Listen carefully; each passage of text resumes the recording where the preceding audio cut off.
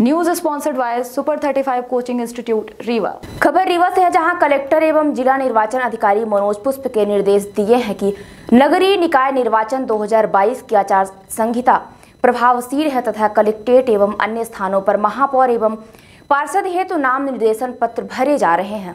उन्होंने कहा कि राज्य निर्वाचन आयोग द्वारा निर्देश दिए गए हैं कि नाम निर्देशन पत्रों में इस बार आय लेखा जमा किया जाना अनिवार्य किया गया है।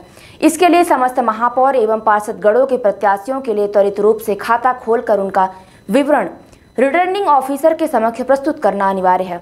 प्रत्याशियों द्वारा बताया जा रहा है कि बैंक प्रबंधकों द्वारा खाता खोलने में आनाकानी की जा रही है या बैंक खाता नहीं खोला जा रहा है। इसके लिए प्रत्याशियों को परेशान किया जा रहा है।